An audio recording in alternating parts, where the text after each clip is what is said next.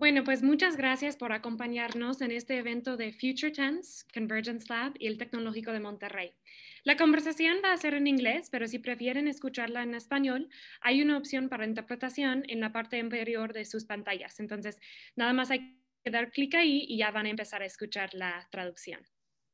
So welcome to Is Your University Designed to Create a Better Future, an event brought to you by Future Tense, Arizona State University's Convergence Lab, y el Tecnológico de Monterrey.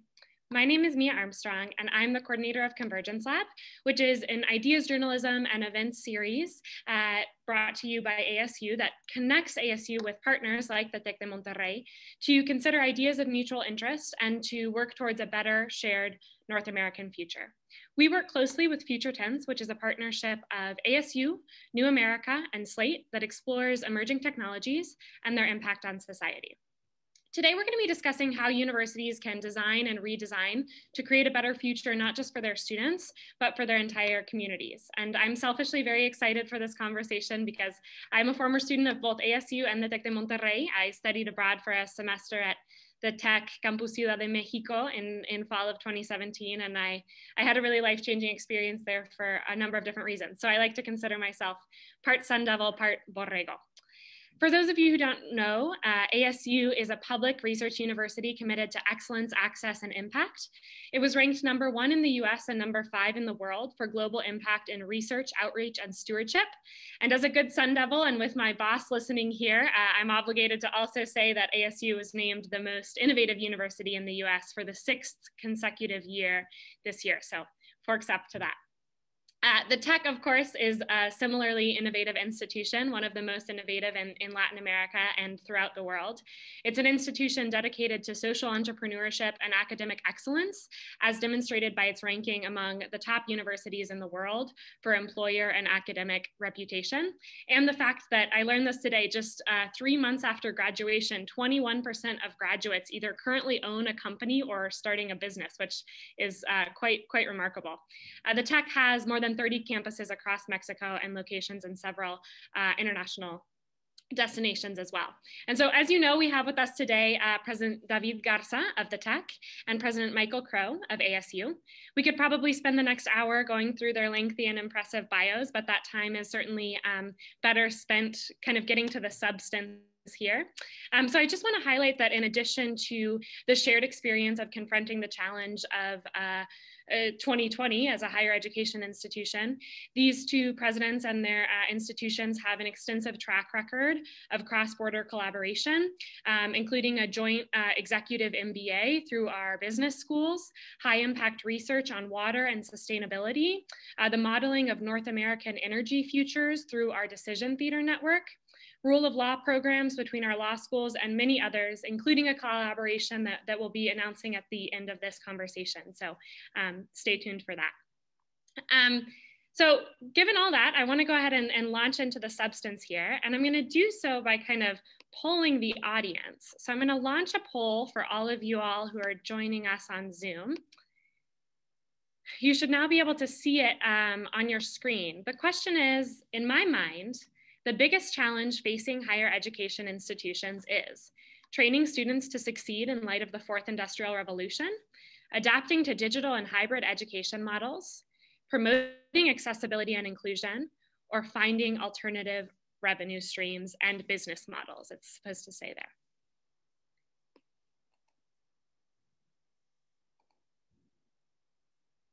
This is a, this is a real nail biter, so make sure you uh, you get your votes in. I'm going to give you all about 20 more seconds here.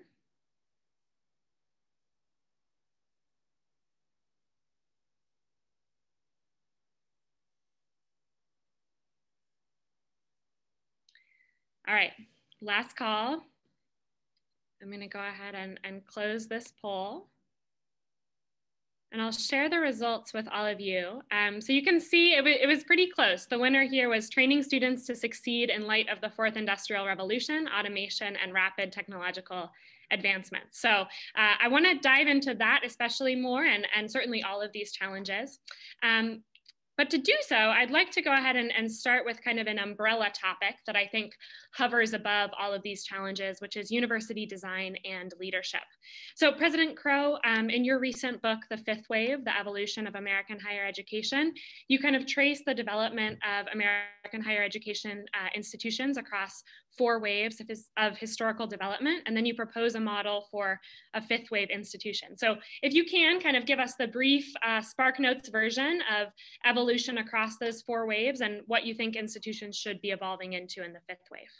Well, thanks, Mia, and thanks everybody for putting this together. Uh, it should be a lot of fun. So the, the 400 years, roughly give or take, the U.S. has had higher education institutions. The first wave was basically the colonial version of the British College of Oxford or Cambridge in the form of Harvard, Princeton, Columbia, and others that started as small colleges in pre-revolutionary America. There were a handful of these. They got going.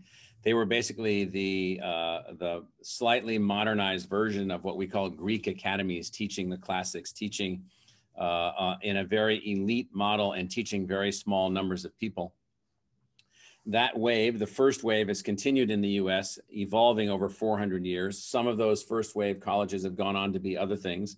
Others, like Bennington College in, in Vermont, uh, were formed just uh, less than 100 years ago.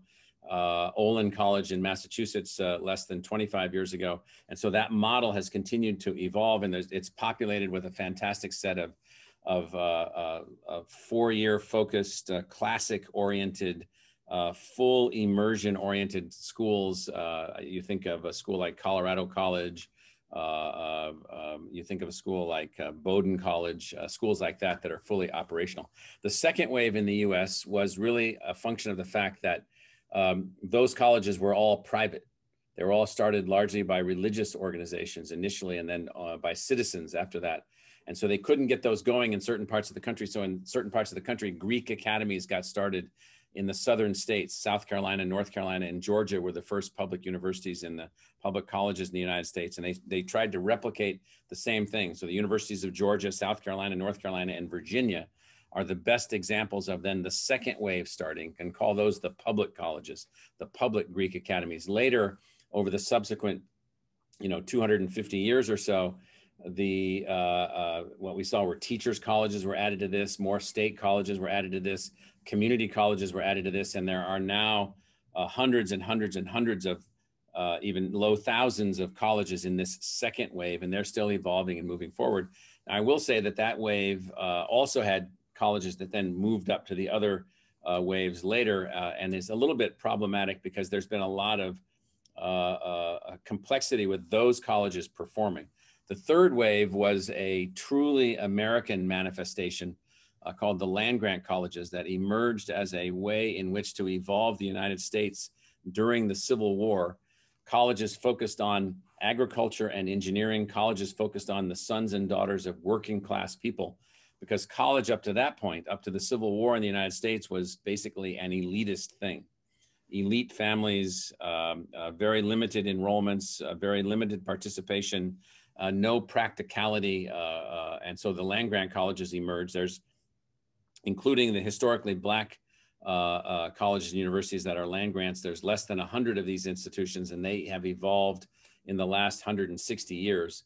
Then the, the big breakthrough in American evolution was the fourth wave following the third wave, which was the emergence of the research university, which was a combination of the British College and the German Technical Institute, brought to the United States in three institutions between 1876 and 1890.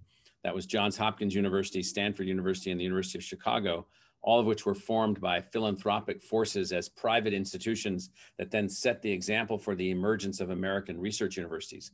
Right after that happened, uh, Columbia, Harvard, Princeton, Berkeley, Michigan, uh, all these other schools decided to become research universities, doing science, doing technology, granting PhDs, and evolving. And these four waves have been fabulous for the United States. I mean, they've been fabulous assets, each of them, each uniquely evolving. And unlike the private sector, where waves of change through evolution always mean the previous form goes away, not true in higher education. All four waves have their own evolutionary patterns.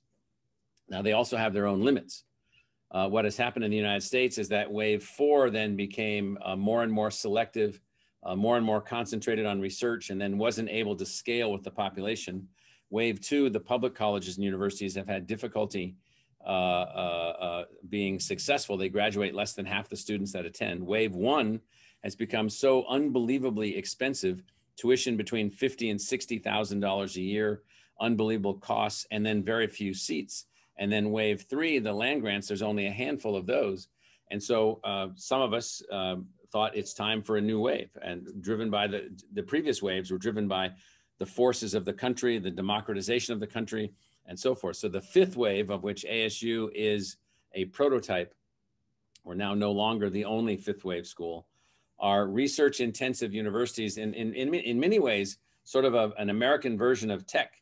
Uh, uh, and so, in fact, we learned many things in my in my almost 20 years of visiting tech and engaging with tech, and that was scale, commitment to all of the citizens, commitment to the entire life cycle of education, high school, college, everything. And so, so the fifth wave universities are highly democratized, uh, research intensive, scalable, high speed, technologically driven institutions, very much in the spirit of the scale and diversity of the United States. So the fifth wave, of which ASU is a prototype, Purdue is another prototype, others are coming along, very similar to tech in a lot of ways. I think we're a little bit more research intensive than tech. Uh, uh, and so, but but it gives you the sense. But but but tech is very scholarly intensive, nonetheless. Um, and so and so we're very much a university uh, uh, in this fifth wave. So the fifth wave, the way to look at it is universities that are devoted to scale and access and excellence, all in the same institution. Yeah. Well, thank you so much, President Crow. President Garza, I want to give you a chance to kind of reflect on that. Certainly, there are significant differences between the higher education systems um, in Mexico and the US, but there are also a lot of similarities. I mean, maybe you can also, you know, I know you're the architect of this new model that the tech is implementing, Tec21. So, kind of take us into to any reflections that you have um, in terms of this idea of the fifth wave institution, and then maybe uh, the, the sorts of design aspirations that you all have at the tech tech via this model, uh, Tech 21. Sure, sure. Thank you. And first of all, I mean, it's an honor to be here uh, with you and uh, with all the audience, and uh, of course, uh, sharing uh, this space with uh, with Michael. I mean, a friend of Tec de Monterrey. I think that ASU and Michael will be in our history books because the relationship has lasted now for three presidencies. Uh, and uh, it's been an inspiration also for us uh, what ASU is always doing. And I find this concept that Michael presents very, very interesting, very provocative. And, you know, but at the end of the day, I think that what lies behind what Michael is sharing with us, it has to do with impact. And I think that we as universities, we always need to, to reflect and think about the impact that we are having and how can we actually increase that, that impact. It comes to my mind that uh, precisely this week, uh, one of the senior leaders uh, approached me and uh, he mentioned that during the past 30 years that we've been doing distance learning and that we were leading distance learning in Mexico and perhaps in Latin, Latin America, we had reached roughly around 100, uh, 170,000 uh, people in the, in the different degree programs. And now during the past nine months, we have, and, th and this has been uh, perhaps in taking just one course or taking some courses or taking a full degree. Now, during these past uh, nine months, we have over 100,000 students taking a full distance education. So uh, you can see the type of world that we are living in and how we need to reflect about that impact that we need to have. Uh, Mexico, it's a country with great challenges. One of those challenges it has to do with coverage. Uh, currently, around 24% of young adults uh, uh, attended college. Uh, I'm talking about 25, 34 years old bracket. And this is about close to, to half of what the OECD average is. So to, that's a, a, big challenge that we have in our country.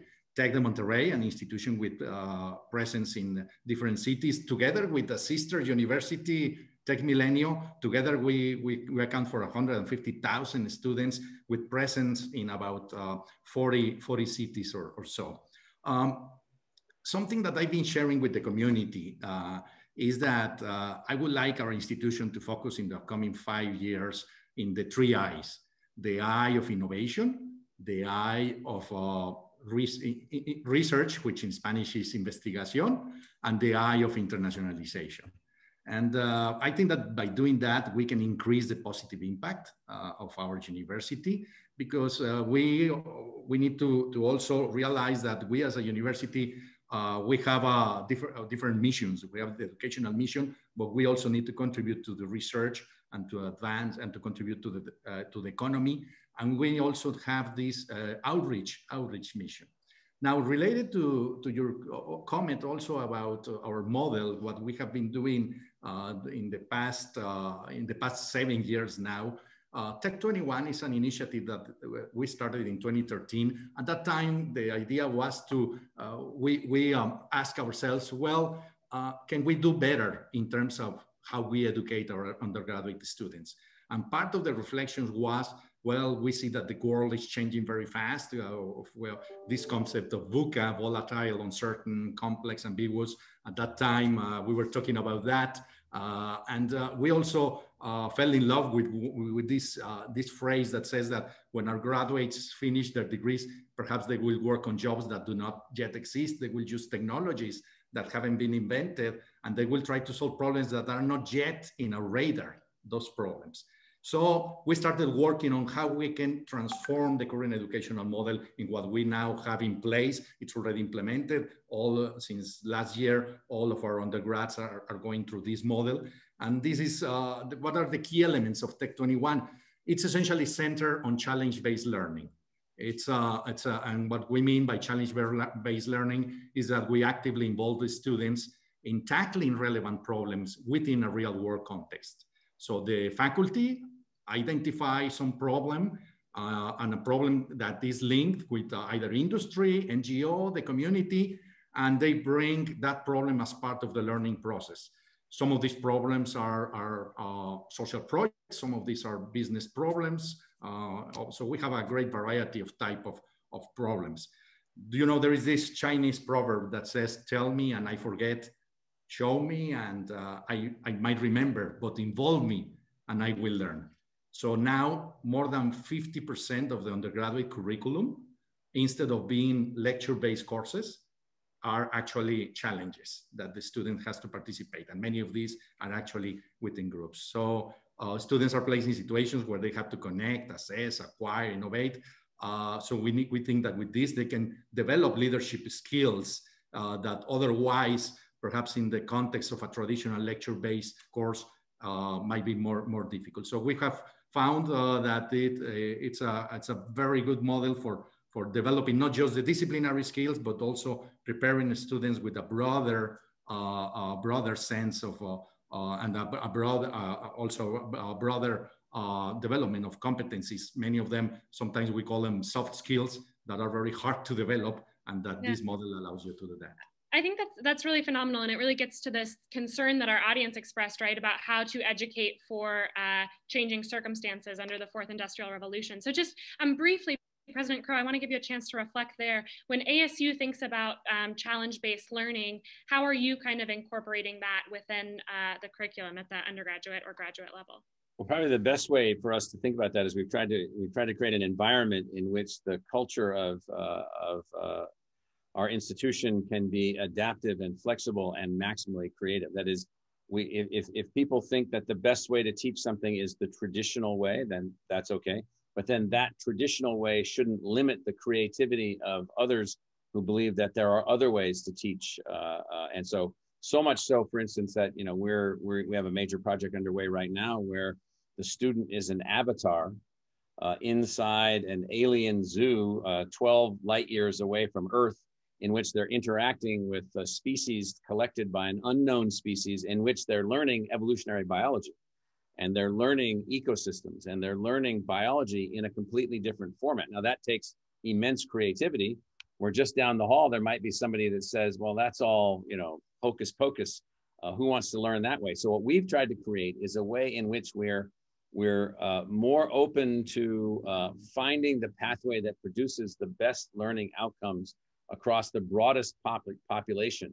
We're, we're here to serve the entire demographic of our society, not the hand picked demographic that that that so many schools are focused on. And there's nothing wrong with that. It's just that if everybody did that, we wouldn't have the means to move forward. So, like uh, David and what they're doing at Tech with Tec21, we're trying to facilitate the birthing of all these different ways of teaching and learning, and then uh, allowing maximum creativity and maximum evolution. And that's really what we've really focused on. Uh, yeah. and I think that for the most part, in fact, more than for the most part, our faculty have embraced that. They're yeah. unbelievably creative and unbelievably excited and interested to be doing things in new ways. Yeah, I think that that flexibility and that creativity is, is crucial. Um, and so I want to uh, go ahead and take a chance to, to switch uh, tones or switch paces a little bit here. Um, as university presidents, you know that we're in the thick of finals or exam season. So we wanted to go ahead and turn the tables on you all and ask some exam style uh, rapid fire questions. So uh, the rules here are that you'll get 30 seconds to answer the question um, or less if you can do it in less. When uh, your time is up, an alarm will sound and I'm not gonna be lenient about time. So uh, that's that. Uh, but I will, however, switch off who um, goes first for, for the sake of fairness. Okay. Um, so, so all set, any questions? Nope. All right. Great. Um, so President Garza, let's start with you. Um, what is your message to students or educators who are feeling discouraged after a year of unprecedented challenges? I would say that I'm tremendously proud of, uh, of all of them. Uh, and I would tell I would tell them do not focus your energy on what you did not get or did not do this, this year, but rather think of what you've got and ask yourself what you're going to do with that especially think about attitudes, I would say, um, values, habits that perhaps you have positively changed during this year. So focus on what you've got. President Crow, what, what would your message be to students and educators? Well, we really don't have time for discouragement. What we have time for is adaptation and moving forward. Discouragement uh, doesn't permit forward movement. You can, you, you basically have to uh, say to oneself, uh, uh, we've learned a lot, a fantastic opportunity to move forward here, a very, very uh, hard and harsh teaching moment that we're all in, in which we have to realize how we never will allow this to occur again in the way that it's occurred. So it's really a moment to not be discouraged. Yeah. Um, so, uh, President Crow, I'm going to ask you to complete the sentence here for me. A university is a place in which knowledge is created, synthesized, stored, and transferred to not only students that are on the campus with you in a, in a, a, fully immersive learning environment, but also should be an open beam of the most intense laser light imaginable, empowering learning and creativity throughout the entirety of our society. Very good. And, and President Garza? Um, I would say uh, one of the most transformative, influential, and resilient institutions that humankind has ever created. And uh, I would also say a place to unleash your potential. Great. Um, President Garza, what is one university outside of North America that you admire? Outside of North America, because yes. in North America, of course, there is ASU. uh, well, sure. uh, outside of North America, I would say um, I think that uh, perhaps Singapore University of Technology and Design because of its distinctive approach to things, highly interdisciplinary, experimental, if you would say. I mean, it started from scratch, thinking about how a university, a different university could be. So I think that that's one that I would I would put. Yeah. Excellent. And uh, President Crow, outside of North America, a university you admire? Well, there's several. Uh, University of New South Wales in Australia is highly entrepreneurial, highly energized. Dublin City University in Ireland is uh, unbelievably creative, very much in the tech model. Uh, Ben-Gurion University in Israel. There's also universities that we're working with in uh, uh, Africa that are fantastically desirous of transformation. So there's a lot of fantastic institutions on the planet uh, really moving forward. That's great. I don't know if you get full marks there because I asked for one, but but we'll, uh, we'll maybe you get extra credit. Uh, depends on who the professor is. Um, so I understand that that perhaps um, you two have been well, not perhaps you two have been very busy managing the COVID crisis for your institution. So maybe you've had uh, less time than the rest of us to watch some uh, pandemic TV, pandemic movies, do some pleasure reading. But I do want to ask, um, you know, if you have a, a, pandemic TV, pandemic movie recommendation, or if you read for pleasure, what you recommend folks should be reading right now. President Crow.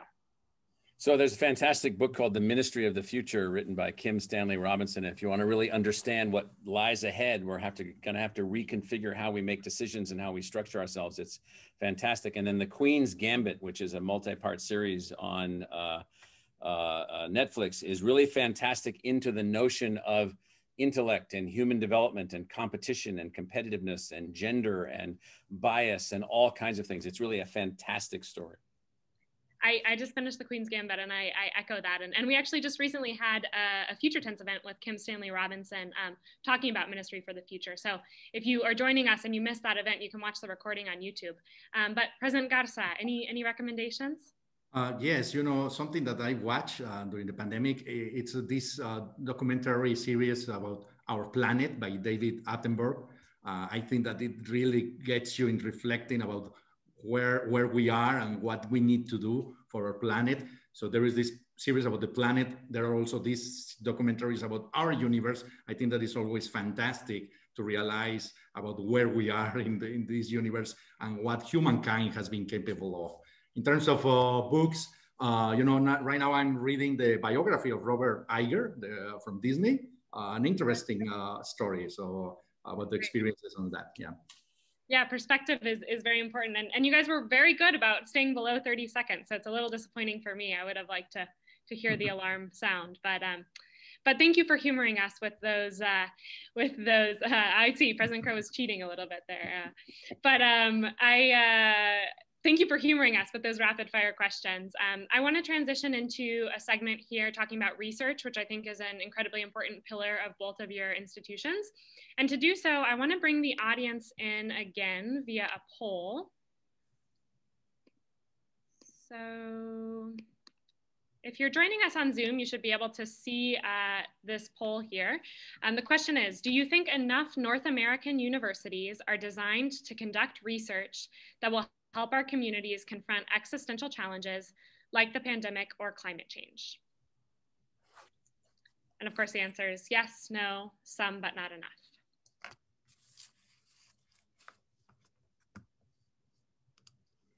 I think this is fairly straightforward, so I'll give you all about 20 more seconds to, to finish up answering.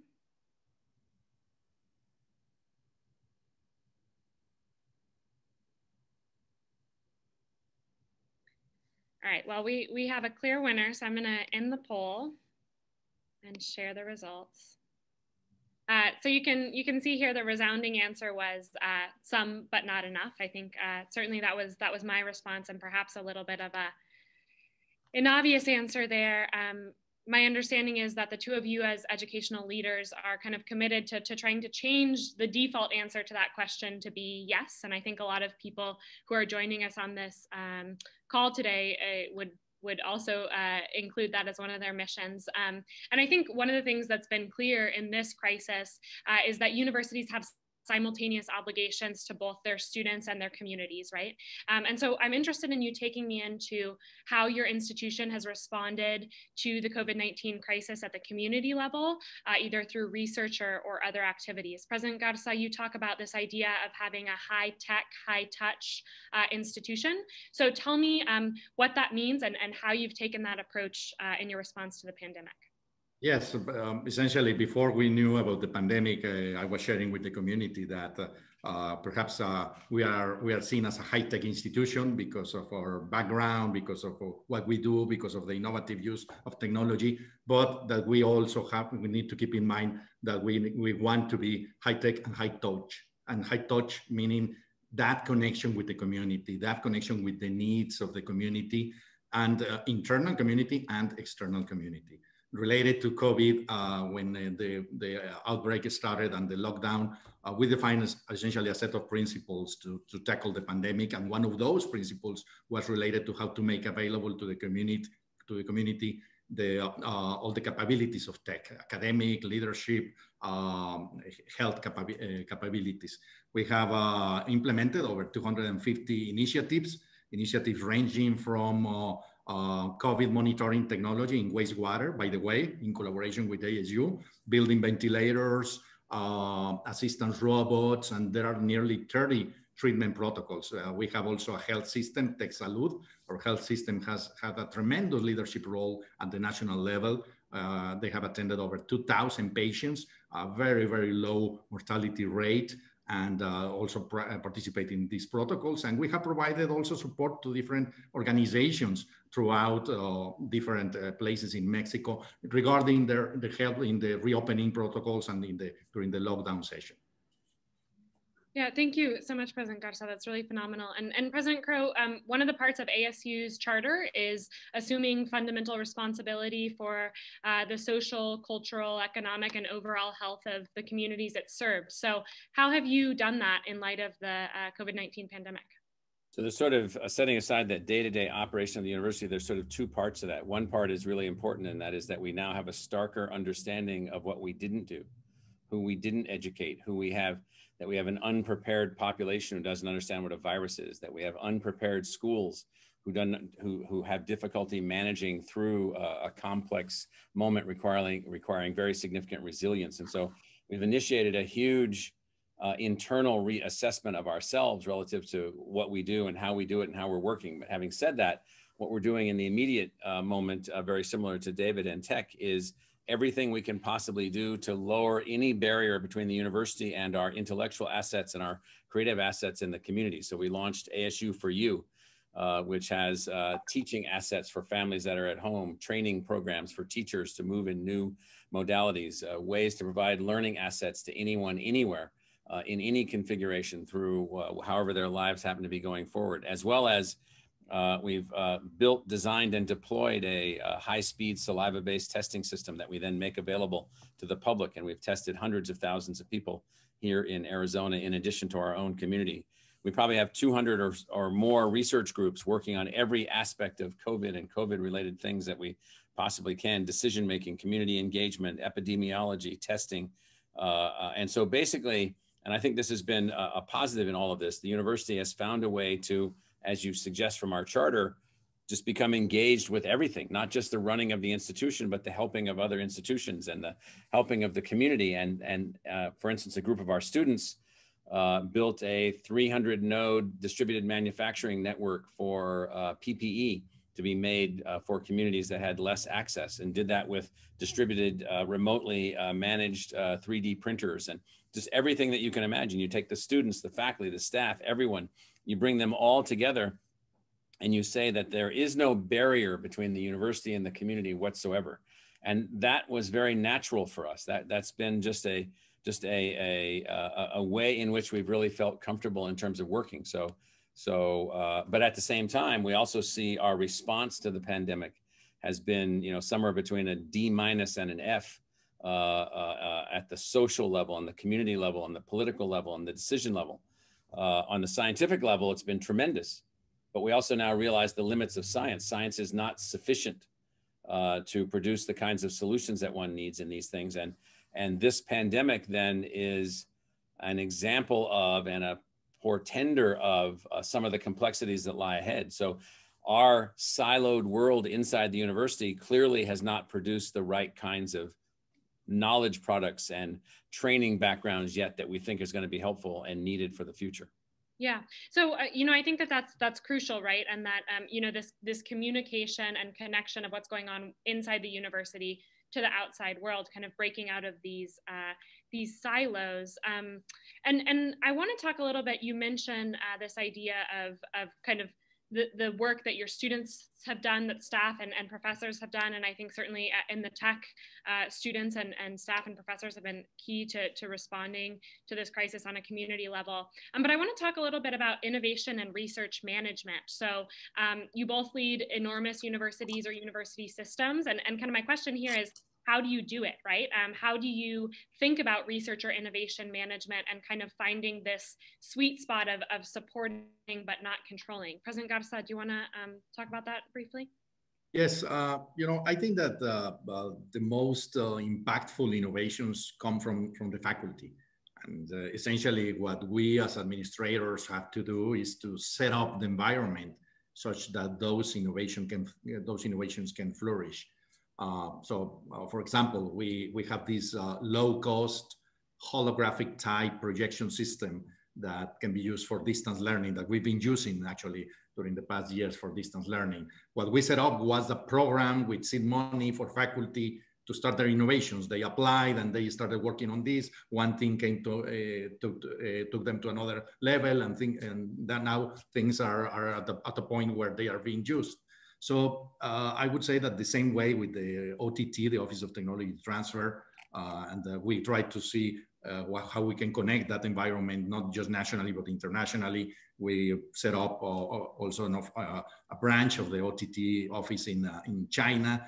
And we also have these events, these yearly events for um, disciplinary and, and, interdisciplinary research uh, on, on one aspect of innovation in, of education. This will happen next uh, this, this month. And then in, in, February, we have one related to disciplinary research. But there is, that, uh, th there is the opportunity to, to, for uh, researchers to interact and to, to some, do some pollination and then work on more, more innovations. Of course, there is the funding element. So for the funding that comes for, from the university sources, there might be some directional aspects that we want to promote related to some problem orientation that we want to uh, to contribute through to, uh, uh, through our research. So that's also another way in which we sort of try to uh, orientate the type of innovation that, that we try to do. What about you, President Crow? How do you think about innovation and, and research management? Well, I think uh, you know, there's three dimensions to it. So the first and the most important dimension is the support and empowerment of our individual faculty, who we've really given this assignment to be great teachers and masters of their subjects. And I don't mean just uh, science and technology faculty, but English faculty, history faculty, music faculty, opera faculty, uh, uh, whoever they happen to be, business faculty. Uh, and that means finding a way to facilitate each of our faculty members to be able to be at the edge of what we know in their subject contributing to it, understanding it, uh, taking in insights and perspectives from other people. So the first and most important thing is the support of our faculty in every possible way. The second thing for us at ASU is to weaken the barriers that have existed, uh, the social and cultural barriers among and between people in different fields, uh, allowing us to have low levels of, uh, of, uh, of uh, resistance permeable uh, engagement across all fields. And we worked really hard for that. And then third for us has been to uh, pick a handful of really, really exciting, complicated things that we want big chunks of the university to get behind. So our Global Futures Laboratory, which involves 600 faculty members thinking about where we need to build our planet positive outcome, a sustainable outcome for our relationship with the natural environment. And then a second one that we're initiating, which will sound a little weird, but not to me, it's what we call our interplanetary initiative, which we hope to grow into an interplanetary laboratory. Humans will not be bound to this planet much longer. We will be settling the solar system. We'll be mining the asteroids. We'll be we'll be moving off the Earth. We won't have to deplete the resources from the Earth because there may be resources elsewhere, uh, and et cetera, et cetera. So that's a second thing. And then our Watts College for Public Service and Community Solutions is, is another example of an entire college devoted to the notion of uh, preparing and evolving solutions at the community level so that we can have a better social fabric and social systems and social support in our society. So it's all three dimensions, support for the faculty, eliminating barriers, and then driving forward significant uh, initiatives that engage large fractions of our energy. Yeah. Well, thank you so much. I we have about 20 minutes left here, and I want to direct um, our our time to the topic that is most interesting to audience members. So I'm going to launch a poll here for our audience members on Zoom. Um, and the question is, as an audience member, would you rather talk about access to education, internationalization, or preparing for the next crisis? So it's kind of a, a choose your own adventure here. Um, and we'll, we'll talk about whatever you tell us you're most interested in.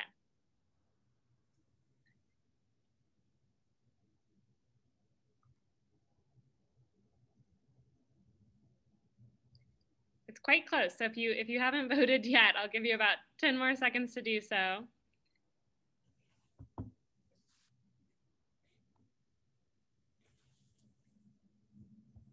All right, I'm gonna go ahead and, and close the poll here.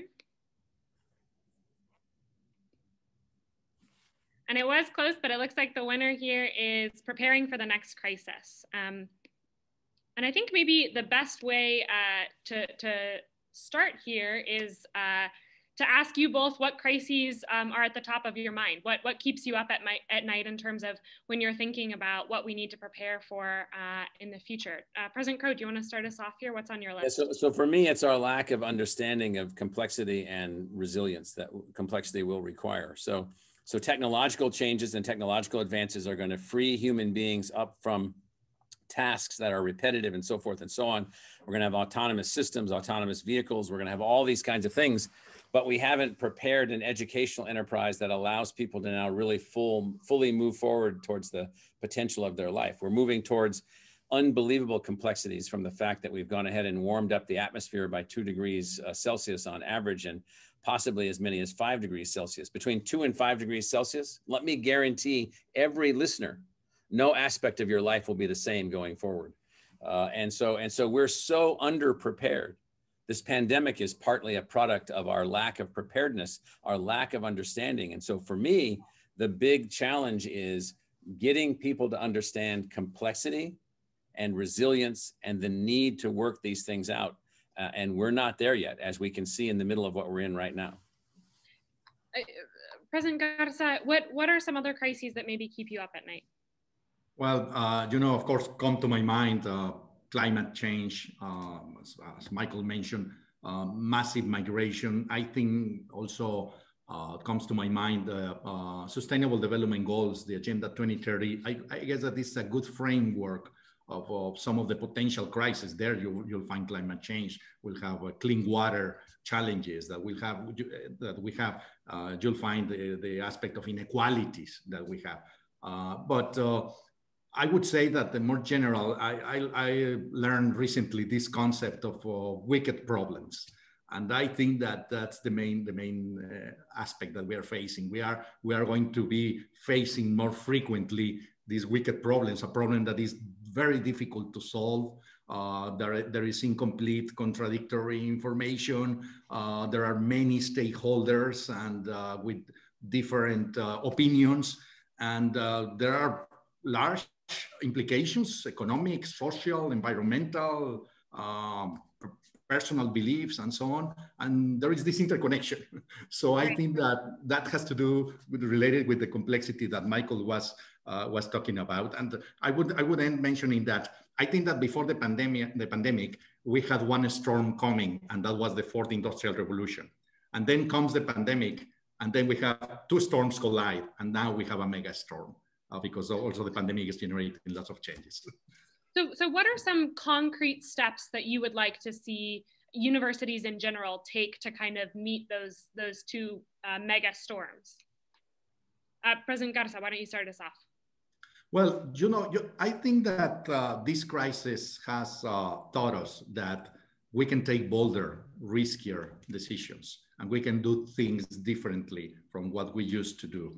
Uh, I think that uh, definitely one thing that comes to my mind is that international cooperation between and among universities to try to to go ahead about these complexity issues will be fundamental because uh, we are institutions that uh, we don't have all the capabilities, all the resources, all the expertise, but we are complementary. So I think that that will be a key in the upcoming, uh, uh one, one of the things that we have, uh, we have to work. And uh, I think that this aspect about the high tech, high touch element is something that we also need to embrace more and more. I mean, be very conscious that we are we are within a community, but we have a global responsibility as well towards all of these issues. None of these issues will be solved locally. All of these issues require global cooperation. Yeah, and so um, President correct me if I'm wrong, but but the way I understand it, um, in terms of the model of the fifth wave institution, is um, it's it's working towards collaborative rather than competitive uh, institutions in order to solve some of these um, wicked problems. So, kind of take us into to your vision for for more collaboration between higher education institutions and and some concrete steps that we might take to address these complexities that you've outlined. Yeah, so one of the things that uh, Jonathan Cole, the very uh, capable scholar of the design of universities from Columbia University, has talked about for a long time is why are all the leagues in the United States and in Mexico sports leagues between colleges? We compete uh, athletically against each other, and then we compete in every other possible way. And we compete basically to become more and more and more exclusive.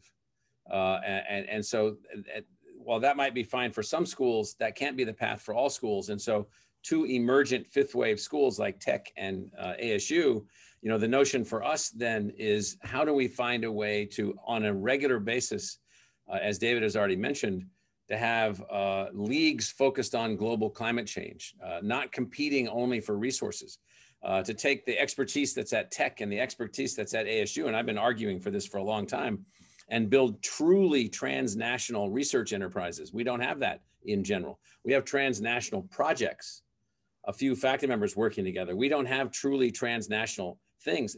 The problems are at a scale. Let's take just the pandemic. Because we were broken down into these segmented, isolated universities that weren't really working together and governments viewing the world in different kinds of ways, this pandemic got away from us almost immediately, and it's not back in the bottle yet. Uh, and it's not back in the bottle because we still can't figure out how to work together in ways. And so we should not be assembling once some kind of crisis occurs. We should already be assembled, already working together. So we need leagues focused on, uh, let's say, let's say something that we learned from Tec. So we learned from Tec that you could do a great job uh, uh taking university assets and then teaching in high schools, and then Tecmilenio you know, where you've got a whole new model, a whole new way to advance engineering education, which we've also absorbed those things. Well, we should probably be working with Tec and others to make sure that that there is no problem that the universities in some form of connectedness can't be engaged in. It is impossible to take thousands and thousands of colleges and universities and hundreds and hundreds of thousands of faculty members spread out across disciplines and organize them quickly enough to be engaged in the kinds of problems and challenges that we're facing. It's not possible. We already have to be organized. And we now have the technology to do that. We have the systems to do that. We have the drive to do that. We have the understanding to do that. And if the virus hasn't gotten your attention yet, nothing will. Uh, and so and so we now have everyone's attention. So now what we need are new models, new ways to work together to, to take all the intellectual assets that we have and bring them to bear. And so what would what would that enterprise actually look like? Like I'm thinking logistically, let's what are the steps to to to arm, you know, model this out? What well, let, let, well let, us take something like let's just take something like uh, North America. So North America is Canada, the United States, and Mexico. So that's uh, 330, 130, 460, 30. That's 500 million people. 500 million people living in one of the most rapidly evolving economies on the planet. Mexico's economy is going gangbusters. You know, in, in, in the last 50 or 60 years, you know, it's risen to be a G20 country. It's uh, about to overtake Russia in terms of the size of the economy. Canada is very successful. The United States is very successful, but none of us have worked out the issues of sustainability or water or any of these other kinds of issues. We haven't worked on those together. They're not separable by countries you know, the region is so large, uh, let's call it uh, uh, approaching 10 million square miles. You take 10 million square miles of the planet, 500 million people, and only three countries. We have to find a way to bring all the major institutions of higher education together within those within that region and start producing the the people and the solutions that we need for the region, not for the little local thing. That will never work. The scale is too big. We have to scale up we need new institutions, new collaborations, new structures, and new designs to be able to take the intellectual assets of the universities and apply them to the scales of the problems.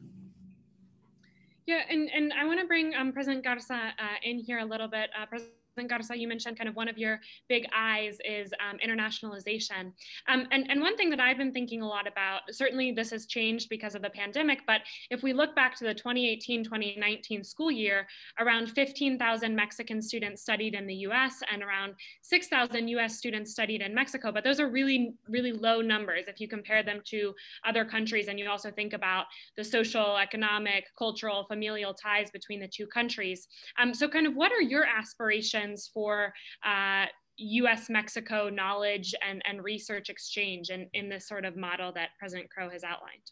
Sure, real quick, let me let me just talk about uh, the internationalization aspect and then focus on the U.S. Uh, Mexico aspect. Sure. Uh, the uh, when, when uh, Tec de Monterrey has been uh, promoting internationalization for many many years. I think that that's also something that we share with ASU. but currently, about 60% of our students graduate with an international experience and every year about 7,000 students go abroad uh, uh, just from just from Tec.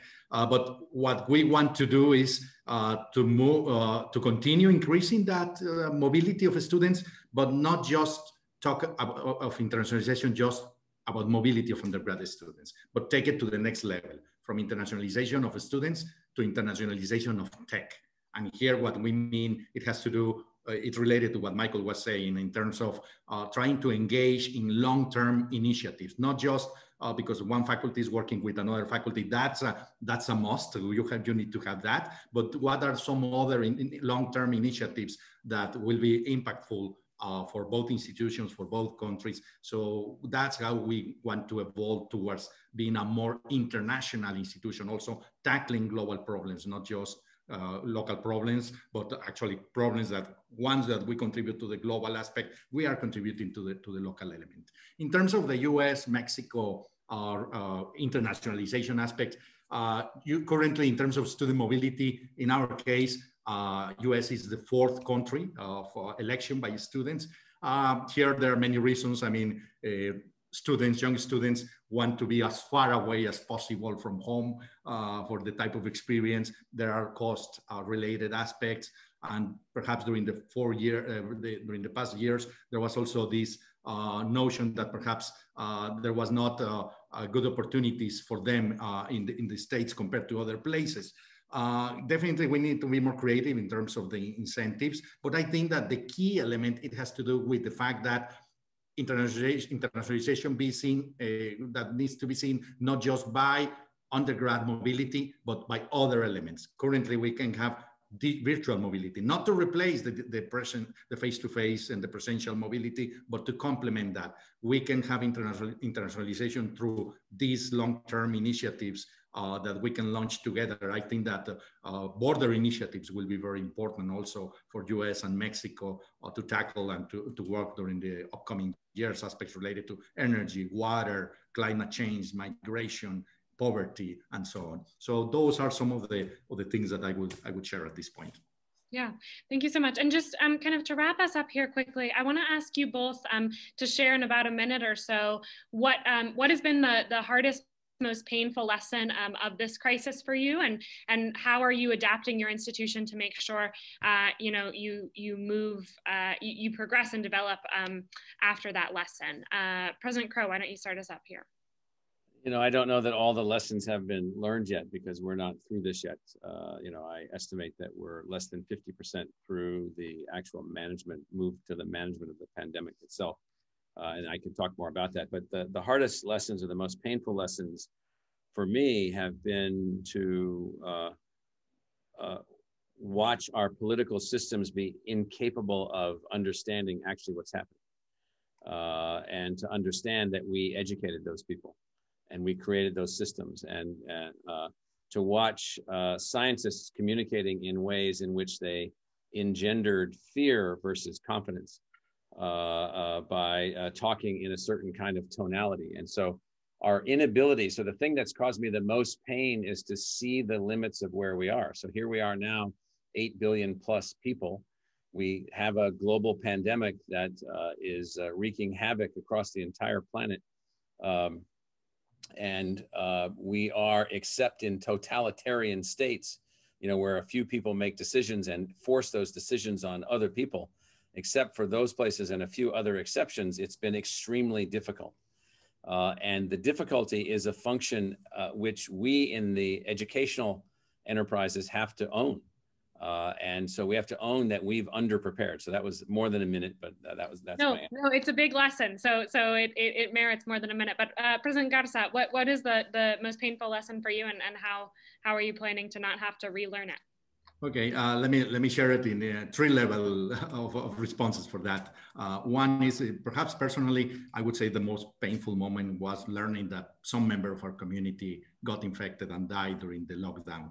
Uh, talking about campus level or university level, I would say that losing the campus experience for the entire community, the, especially for freshmen and for new faculty and for students that are graduating, and at more global level, I would say this uh, lack of seriousness of some leaders about taking the facts of science and evidence to take decisions and ignoring that. I think that that uh, I would say were among the most painful lessons. And uh, in terms about uh, uh, what can we do to prevent, I will go into the campus experience. I would say that we need to appreciate uh, uh, every single moment when we go back to campus and don't take it for granted and enjoy every single interaction and think that those face-to-face interactions are transformative opportunities that we as individuals have in a university community. I think that's that's so true, and that's that's something I learned. I, I was on, on the Tec campus during the 2017 earthquake in, in Mexico City, and um, obviously a, a, a, horrific tragedy. And and that moment of getting to go back to campus and and hugging classmates was was something that I'll always remember. Um, so this has been a really interesting educational and aspirational conversation. Um, but I think certainly the, the measure of these conversations is the way that they translate into action off the screen or, or maybe in the old days, um, hopefully in the future as well, kind of outside auditorium. Um, and so in the spirit of that, President Crow and President Garza are going to close the conversation by signing a memorandum of understanding. Uh, President Crow has it there, uh, that expands existing collaboration uh, between the Tec and ASU on student exchange programs. So uh, the program known as Acceso gives bilingual ASU students an opportunity to take Tec courses online, earning credit toward an ASU degree. And um, you know, really what it is doing is increasing access to a binational uh, educational experience marked by excellence, uh, thanks to uh, the Tec's impressive academic offering. So um, we can see uh, both presidents have, have signed the MOU. I think uh, normally we would we would have a round of applause here. So uh, I'm clapping, um, and hopefully our audience here at home is clapping as well. Um, and I just want to give a special thanks for making this program possible to Paula Garcia, Jose Cardenas, and Julia Rosen of ASU, as well as Juan Pablo Murra, Raul Rodriguez, and Silvia Farias from the Tec. Um, so I just want to give you each 30 to 60 seconds to, to tell me here what, what the program means for your institution and, and what the significance of signing this MOU is. Um, do you want to start, President Garza? Yes, I mean, uh, talking about uh, uh, one of the eyes, the eye of internationalization, I mean, the opportunity to interact with ASU and to get uh, with some youth uh, people in the, in the States, uh, we were talking about related to the, this fifth wave and to access uh, to people that otherwise cannot have opportunities. Uh, some of our students will participate in this program. Some of our faculty will be also uh, uh taking taking place, and I, I like that now we're taking these steps related to access and related to so how Tec de Monterrey can also interact and have more impact with community that ASU is also serving. Thank you, President Garza. President Crow. Well, all I would say is that you know Mexico and the United States are uh, you know very very close first cousins. You know we're we're two democracies emerging here in the Western Hemisphere that have you know really gone through civil wars and revolutions internal, and we finally have you know brought ourselves to this point, and we're modernizing and culturally evolving and moving in the right direction. And one aspect of that is the kind of relationship between Tec and ASU two universities in two different countries that have the same vision for the future, scaled impact on a national level. And then this agreement allows us to take that uh, relationship one step further. More students engaging, like you did, Mia. More more people engaging, and then using technology to shorten the distance and reduce the cost and make it more accessible and make these things happen. So for me, it's just another step in the further emergence of this North American community between Canada, the United States, and Mexico, but the relationship between Tec and ASU being an unbelievably important part of that. And so we're very excited about this next step. Thank you so much, President Crow. Thank you, President Garza. Thank you to all of you who have joined us uh, here online. Um, it's been a real pleasure for me, and I just um, wanted to let you know that you can keep up to date on future tense what, uh, events, future future future tense events on New America's website. Um, and you can also get the latest on activities from all three institutions by following them on Twitter. That's at Future Tense Now, at Tec de Monterrey, and at ASU underscore MX. Um, so with that, thank you so much. Uh, take care, cuídense, and hopefully we can see each other in person soon.